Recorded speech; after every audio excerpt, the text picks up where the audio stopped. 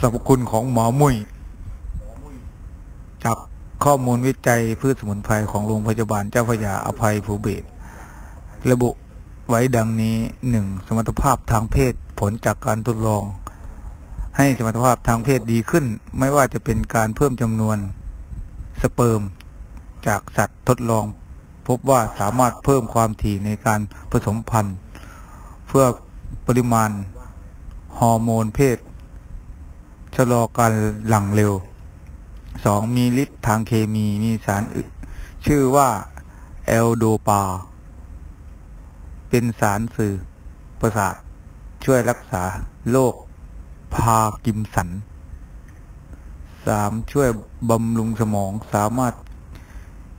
แก้โรคสมองเสื่อมได้ เป็นยาคลายเครียดห้าแก้ปวดเมื่อยได้ช่วยให้กล้าม เนื้อผ่อนคลายหกลากใช้ต้มเพื่อเป็นยา ขับปัสสาวะ ขับเสมหะ แก้อาการไอหกใบ